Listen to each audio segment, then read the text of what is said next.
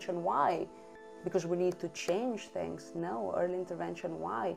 Early intervention because we are creating support for these kids to flourish. Hello, my name is Sebastian, and I invite you to this podcast episode from Enable Ireland. And really think of your everyday life. That we are Today, and in our first episode, I talked to Silvia Segales, an early intervention specialist, creator of the Circle program, event speaker, and Lámh tutor. Mediated interventions are actually more effective than professional implemented interventions. Hmm. So that idea of I hire and I fire, for me is like he's hired. He doesn't know, but he is hired. not, we're not only And Silvia is a mother of two and has a son with autism. In this conversation, she shares her experiences and thoughts on being both a clinician as well as a parent of a young person with a disability. You know how to respond to a problem. You can listen to an extended version of this conversation in our full podcast episode, linked below in the description. I'm grateful for having had the opportunity to speak to Silvia, and I hope this conversation is as interesting to you as it was for me. My aim is to speak with people who share stories about work and life with and around disability, who share stories that are interesting, illuminating, inspiring, and bring out the ability part within the word disability. Stories that are rich with thoughts and ideas for reflection. I want to enable conversations.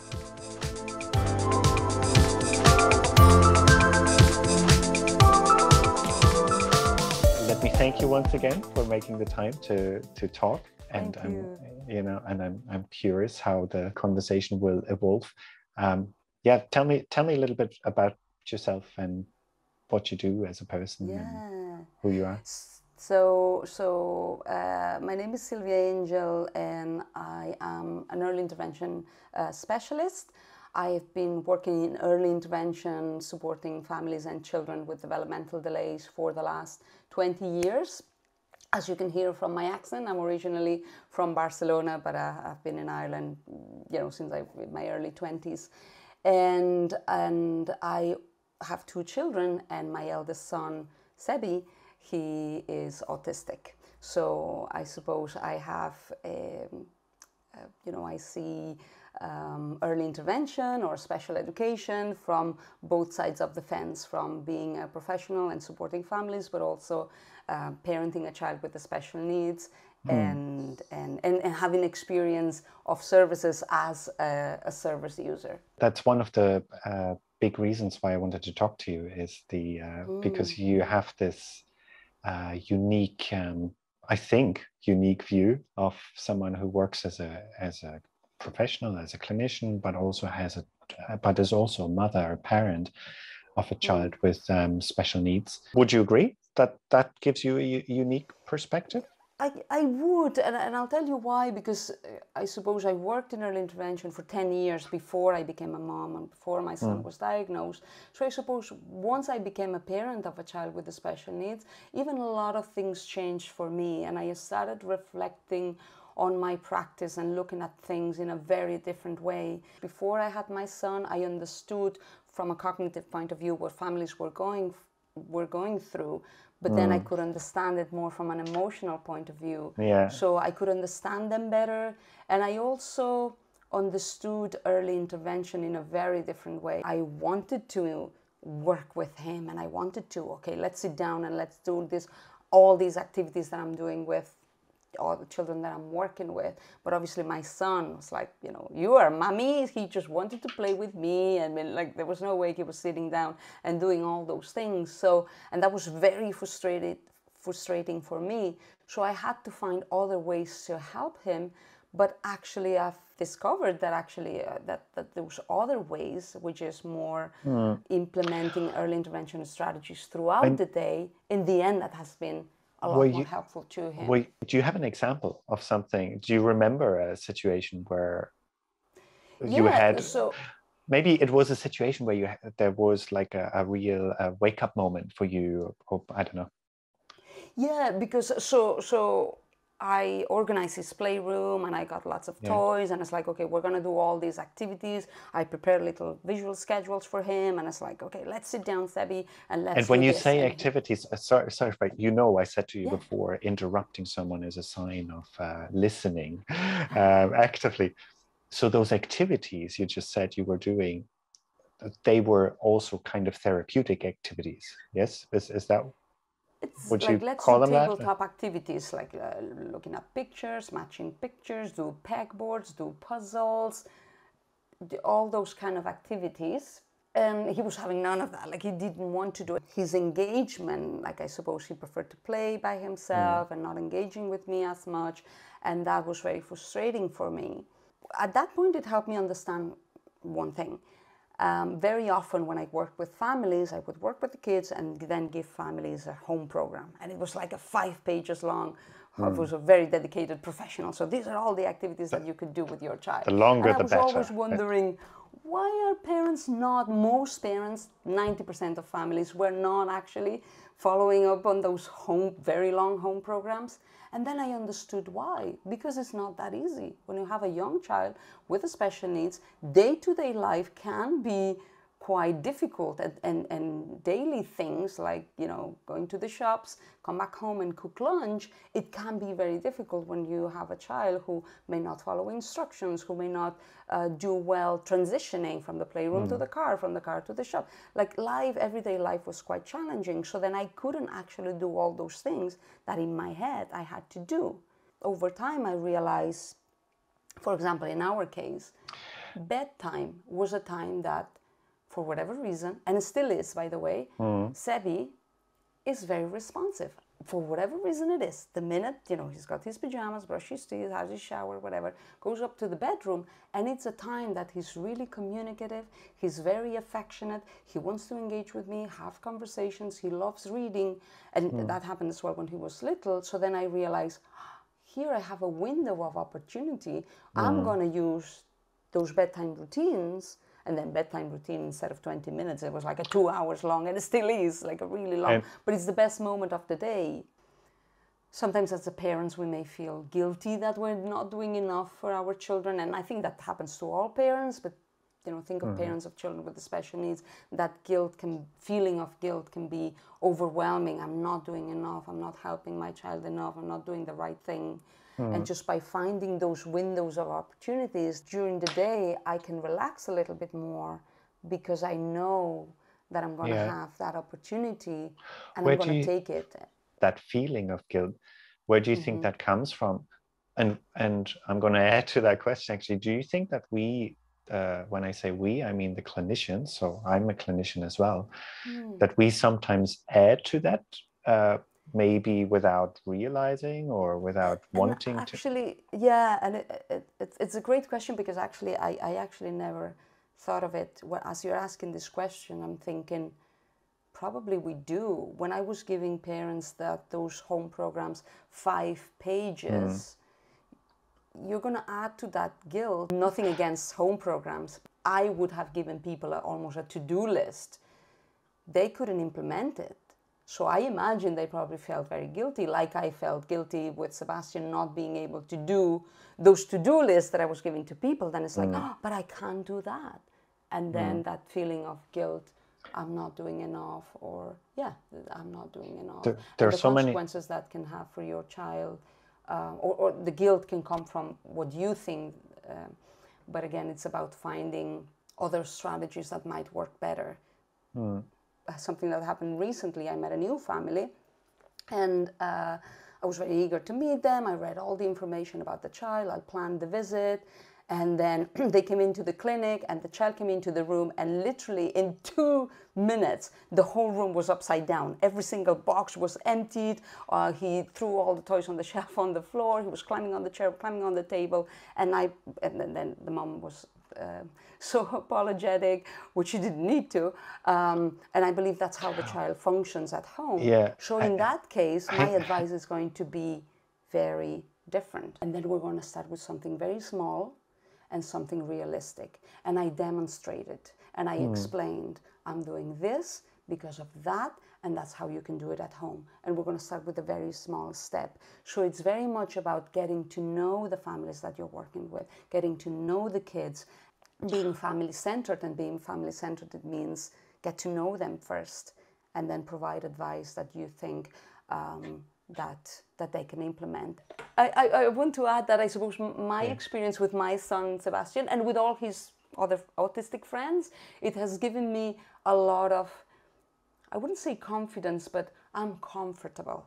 Like mm. in that case, in that visit, initially we both panicked. And I have to say, I had prepared the visit very carefully and I laid out all the toys I wanted mm. the hmm. child to play with. So, like in two minutes as well, my plan was all like dismantled. This is not going to happen. And I panicked as well initially. And then I just remind myself sit back, observe let's think. So I'm more comfortable with being uncomfortable because mm. of my experience with my son, because of my experience with all his friends. I'm comfortable with that. And you know what? I think that has an effect on the child because the child can sense that. You know, if mm. you, you know, get anxious, yeah. stressed, worried, what am I going to do now? Because professionally, for a professional as well, like some circumstances, it can be That's... like, how am I going to engage with this child? I need to identify how can I support the child and what needs to be done first. Mm. I need to identify that. I need to be able, in that case, for example, so in, in that case, so this immediately I thought there's two things. The child was a little bit overwhelmed. I need to help this child calm, da- calm down. And then here, I'm going to use intensive interaction and some of the Hanen principles. Mm. So I decided that. And I'm going to start that small. That's the first step see that little window up see those see that the child took that activity started and finished that even if it was like for 30 seconds? That's great. That's our starting point. That's what we're going to do. And i was modeling. And and i think um, when that mother left the room i think she was feeling a lot more positive. I'm still very curious about the whole uh, topic uh, around discomfort or experiencing discomfort mm. and being at ease with that. What what are um, are you happy to share a, a, uncomfortable situation you were in as a parent with uh, Sebi mm. that and maybe wow. maybe that's maybe that's something maybe a situation that's mm-hmm. changed your view in which you experience oh okay so that's what it's like uh, you know that this is what maybe some of the parents i work with experience Mm, I, I, am going to share something that it's a little bit uncomfortable for me to share, but but I think that it can be give really good insights. We're not only talking about being comfortable with com- discomfort; we're also practicing being comfortable with discomfort ah, here. Yes. So yes, yes. yeah. So work away. So Sebastian would have been maybe three or four years of age. He was very young. I was still processing and trying to figure out what it meant you know, that the fact that he had autism, I was trying to process all this. Um, so there was a lot of emotions for me. And then something happened, and I got very angry with the services, very angry, to a point that I actually am not somebody who, you know, I became kind of very uh, aggressive verbally.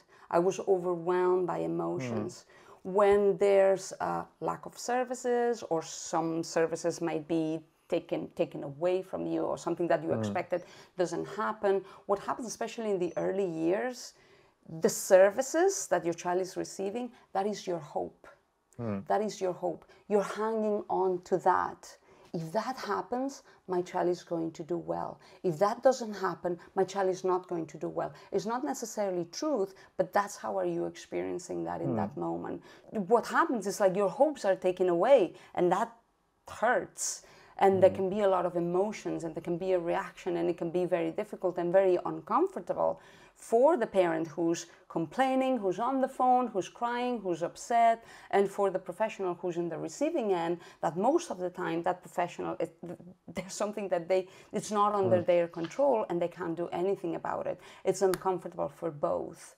And what happens after that? It's mm. the fact that we are not used to being uncomfortable. What happens after that? I felt shame how I reacted. You know, I did that. I lost control. Okay. I'm not usually like that. They see me as aggressive, but actually I'm not. And I'm mm. uncomfortable with that. And I know that they are uncomfortable with mm. me too. They're going to see me again, but I know that they are uncomfortable too. Now I know what did I need at that point, and that's something that I've reflected. I was I was just going to ask you, yeah, what what what was it that would have helped you and maybe Yeah. maybe that's even something you are aware of now when you work with yeah. parents that you can Yeah. see uh, are experiencing the same arc of emotions as a professional, knowing that the parent is hurting. It has nothing to do with you. The parent is hurting, and you, as a professional, have the obligation to help. Normally, what happens in people with distance uh, a little bit, and obviously, as a professional, then you're more nervous to call that family again or see that family again. And I'm uncomfortable with that. I'm going to do it. I don't know what's going to happen. Maybe we're going to have a difficult conversation again. Most of the time, we don't because the parents are hurting and they welcome somebody being understanding, somebody being warm. Maybe there's nothing I can do to solve that particular issue, but I'm going to normally I find an excuse to ring them again, to see them hmm. again. It can be about something completely different. I can't help you with this, but I Well- want you to know I don't say it with words, but I want them to know that I'm there for them. I can't Yeah. help with this. Maybe there's something else that I can i do. suppose But it's that process of us knowing it's it's that anger was not addressed to us, and as a professional, we need to heal something there. Um, so not to move away, get closer. thank you very much for sharing that. Uh, that it's really interesting to listen to. You mentioned something to me before that um, that I want to go back revisit because I thought it was such an interesting story. Please retell it in your own words if you feel. But from what I remember, it was uh, about an experience you had where um, you had seen a parent, I think, with a sign, and maybe it was at a protest or something Yes. and and that the sign had said uh, i am not a therapist i'm a parent or i'm a parent i'm not a therapist the interesting part was how uh, you said that it was a kind of a moment for you where you felt yeah. i i don't ever want to feel disempowered like that i'm not sure if that's the word you used but uh, i think that's what came across from your story is that i don't ever want to feel like uh, there that like i can't help my child that's actually something that happened many years ago when Sebastian, when my son was was little. Um, I was watching the news. There was a, a protest, parents Okay. of children with disabilities asking for better services, and rightly so. Okay, um, they they were interviewing parents, and and and it just. It, there was one parent that I, she got my. Um, I just looked at her, and she was holding a sign that said, I'm a parent, I'm not a therapist. And Hmm. that it just like struck me. And I know that she was asking for better services for, for her, for her hmm. child. And again. Yeah, and the- I- so. Yeah, and But the it story is like- no- absolutely not about that parent. It's actually about what happened in your head, right? When words, you saw that. Yeah. the yeah. words, those words, those words, it really just like, it hit me. And you know what? Th- that I still hear that all the time, still now today, when hmm. parents are, are asking for be- better services. As parents, we have the, the, the moral obligation to advocate for our children. But it's when I hear that sentence, I'm a parent, I'm not a therapist. And I, and I think actually, what are you saying when you are saying those words i'm a parent i'm not a therapist? You can help my child i don't know how to. You have the tools i don't have them. You can make a difference i cannot. And i thought oh that's a very disempowering thought. Somebody else can do it and you cannot I, I, and, and, and I thought, I don't want to feel this way. And I actually, I don't want the families that I'm working with to feel this way either. And always my goal um, is, is how to empower, equip, some people don't like the word empower, empower, equip families with tools so they can help their children. My message to families, when I speak to families, I always talk to them about, I put that example, you know, I'm a parent, I'm not a therapist. And I often suggest to them um, what I think it's a, it's a better way of seeing themselves is become your own CEO. I see myself as a CEO in this house, you know, with my children. I'm the one who's making decisions and I'm the one who is rearing them and supporting their, their growth and their education. I'm inclined to ask that we bring Sebi and your husband John, I think, Yes, and yes, ask them later as well. Do they agree with you being the CEO? I am the CEO. Do they agree? Fine. I'm not so sure if they agree. Anyway, sorry. In Go this on. house, we all have very different, uh, very strong uh, personalities. So I think like we're all doing our own. We get Yeah, along. and, and I know you were talking about it's more about the concept of be- Yes, becoming. So yes. yeah, tell us more about that. Becoming Yes. your own CEO. The, co- yeah, becoming your own CEO. As a CEO of a company, you are never 100% sure that what you're doing is the right thing, but you're doing your best. And you're trying to surround yourself with people. I use the term, and you're going to hire and you're going to fire people who are going to support you. What do I mean by that? For example, Sebastian is now moving on to, he finished sixth class and he's going to go to secondary school. So in that process, I have experience in early intervention, but I have no idea what happens in puberty and, you know, and I'm in a foreign country in terms like I'm not 100% familiar with the educational system in Ireland, especially at, at secondary level. So that there's a lot of uncertainties for me. So in this process, what have I done as a CEO? I've gathered a lot of information and I have also identified who is going to help me in that process. In that process, I rang the SENO, I rang different schools, I spoke to different principals, I spoke to parents, I interacted with my, my service provider as well.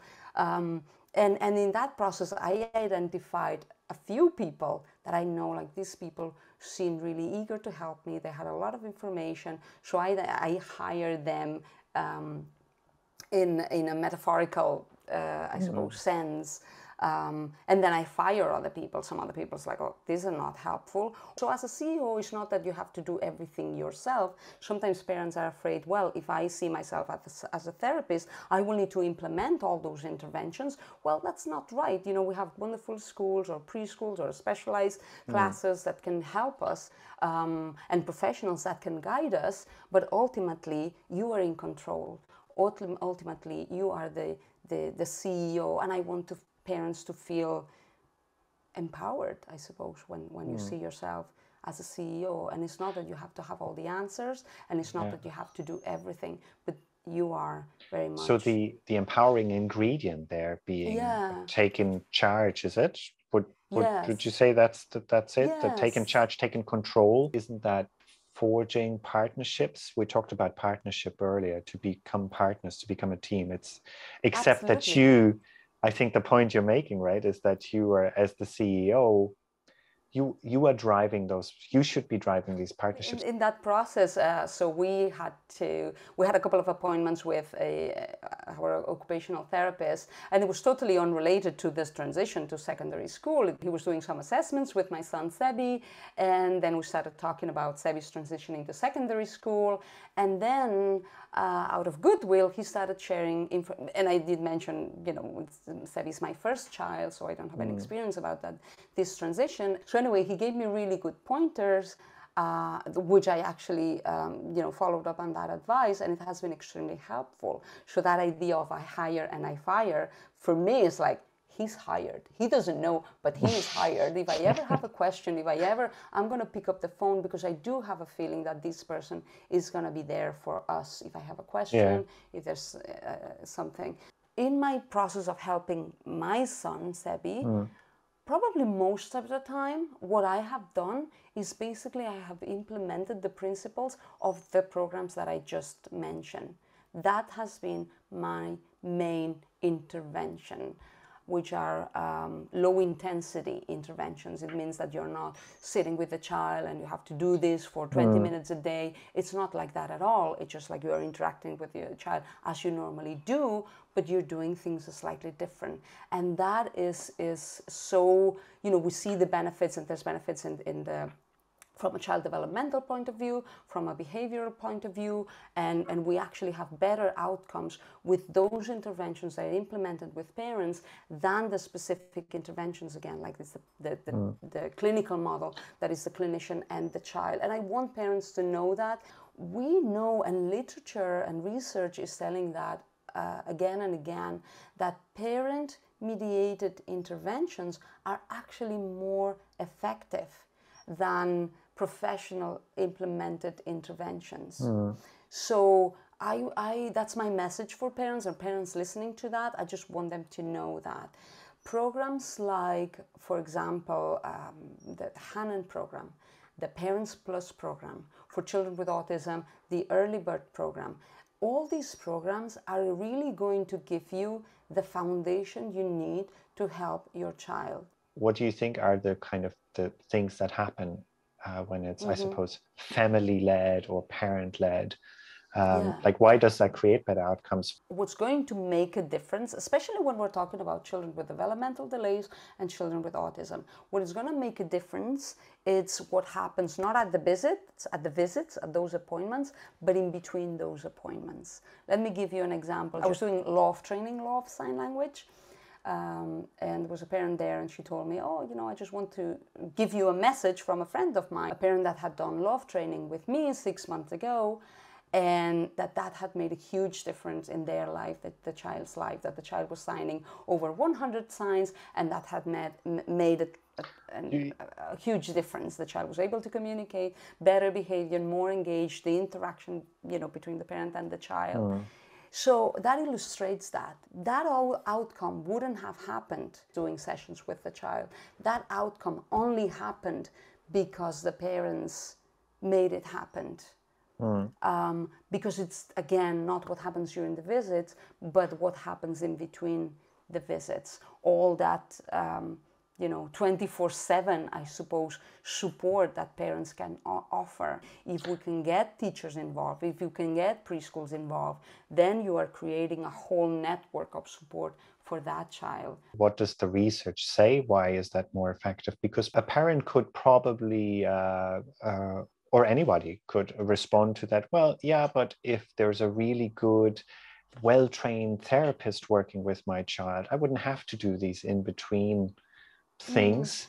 Mm. uh, because the therapist could really effectively do therapy with my child um, and the child would then learn communication strategies or whatever in that way. Even with aba you're not talking about uh, visits like a one hour visits aba you're mm-hmm. talking about three, four hours of intense intervention a day. So, very intense intervention by a mm. trained professional.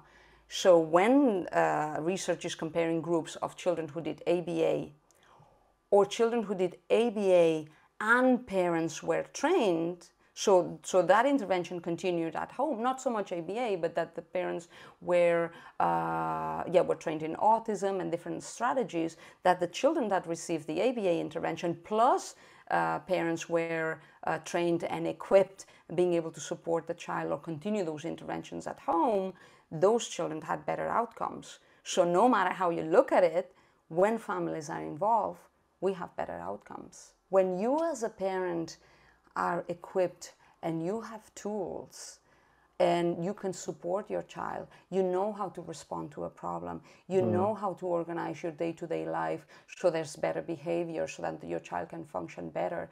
The level of stress goes down. Those feelings of guilt, I'm not doing enough, goes down. I'm doing the right thing. So it's actually the best for our children, but mm. it's actually the best for us as parents too.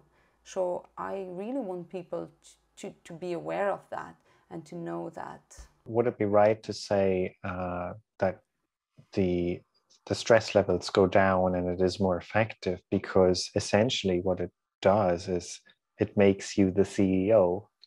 Uh, it brings yeah. you agency. It gives you tools so you can be in control. And I'm actually thinking as you're describing it, I suppose that happens in any walk of life, doesn't it? Don't we always feel better when, especially if we're experiencing a situation that we feel out of control about? if we start having some control over it through whatever means, whether that's through networking or uh, acquiring the tools and skills that equip us better, that it, it lowers the stress, it low and it raises the the sense of having some agency and control of it. What I would like to say is for professionals to to to know that we have different options. We have those training courses, but we also have um, opportunities to help families in group situations. Mm. Let me give you an example. For years in Dublin, I ran uh, within an organization uh, parent and toddler groups.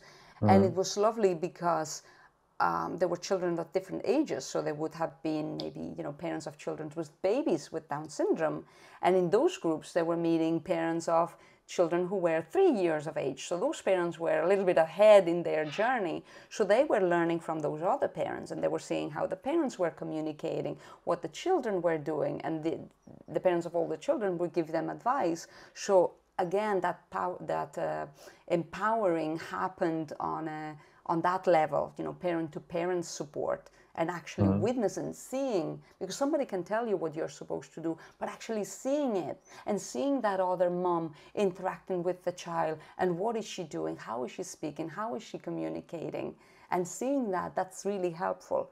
Um, and then you can model that with your child. So group interventions. So really trying to put myself into uh, the shoes of someone who maybe doesn't um, who, who, who doesn't feel that that's helpful to their child.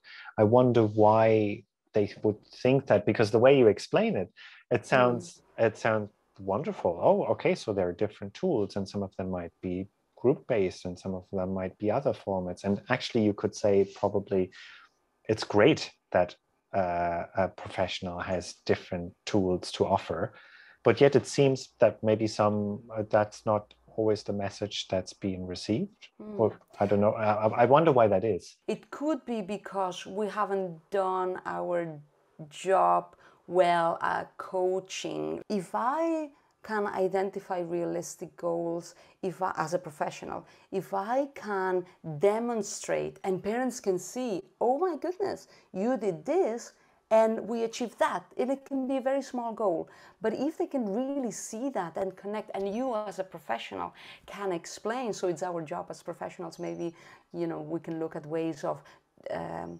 ourselves um, even training more in how you how you can coach other people in that mm. process of explaining this is what I'm doing, this is why I'm doing it, this is what I'm trying to achieve. As a professional, you have your toolbox with lots of tools, and in that session, I take one tool and I'm giving it to the parent.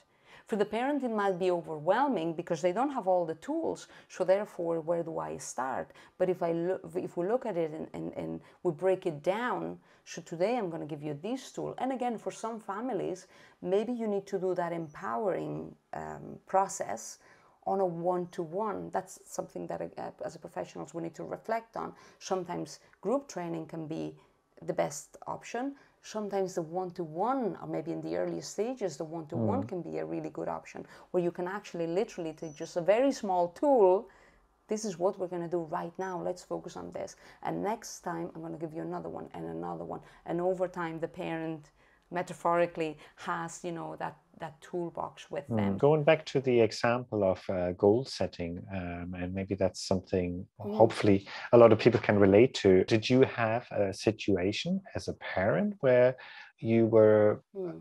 given a very wide question as what are your goals yeah yeah and I do remember uh, actually um, being with a, an early intervention specialist. Mm. So, and I was in that process. I need to sit down with Sebastian and do all these yeah. activities. So she did some sessions with him and she said, What are your priorities? Goal setting. What do mm. I want? Is almost to disconnect from everything and really think of your everyday life. What are you really struggling with? Goals that are very wide, they are very vague, and very often, as I'm getting to know families, um, mm. it's like, oh my goodness, so the goal was this, that, that, and then I'm getting to meet the family, and it's like, oh, but actually, that child is a flight risk. They're running away. Families have to lock windows and doors and, and put a you know a really high gate around the house because and that mm. was not in the IFSP. Why? Because, you know, I was thinking, oh, what do I want? I don't know. I think kids with autism need uh, speech therapy, occupational therapy. Stop. Okay, let's let's think about the daily life. How are things going? And that will help us identify really what we need to focus on. So not to think what's the best for children with Down syndrome, what's the best for children with autism, but actually to look at your everyday life. How mm. is it going for me? What are we struggling with? What's going well? Actually look at your daily life and, and let's start there. Talking about goal setting, you mentioned the IFSP as well. So that's the family service plan. You did say that at some point. Yes. How do you think that goal setting, the family service plan, which sounds really formal, but I don't know, I'd like to hear from you. I'd like to think of it as really just another practical tool within you know getting to know a family at the most simplest level. How do you think that goal setting the family service plan and empowerment and i think you mentioned family centered practice earlier as well. So i've added four things now. Family service plan goal setting empowerment yeah. family centered practice.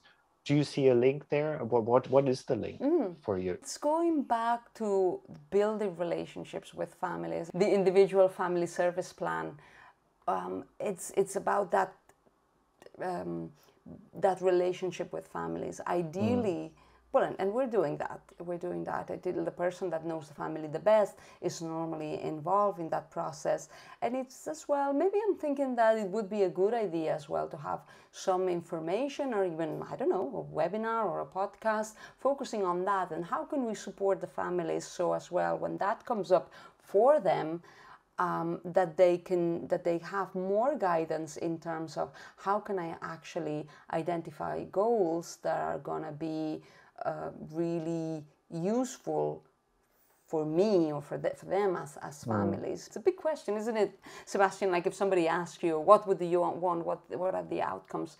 Um, you know it, it's it's not easy so we need to be able to guide them properly and probably over time find ways of informing families so that actually those uh, those uh, planning meetings are really meaningful and useful to families Silvia, thank you very much. That, that was a very interesting conversation. Looking back over our conversation, it seems to me um, some really important active ingredients in working together between families and professionals well partnerships really are uh, things like empowerment acceptance being comfortable with discomfort mm, uh, yeah. probably on both both sides goal setting came up, um, but probably within that context, even more the art of goal setting or the art of how you create a conversation around goal setting. Maybe in, instead of empowerment, I should just say becoming your own CEO. That's that's yes. way more catchy. I want people to know, parents and professionals to know that parent mediated interventions are the most effective for our children and for ourselves as families. I want to have that on the table as we're having the conversations. I'm very concerned that we are trying to go back to something we used to do in the past and mm. we've moved on from that because research was telling us that parent mediated interventions have much better outcomes. I want to say parents that you can do it, you can become your own CEO and for professionals to know that that is the ultimate goal thank you very much. Yeah, thanks for the conversation. Thank you so much. It has been an honor, and I, really appreciate that you know that you invited me today for, for this conversation. Thank you so much.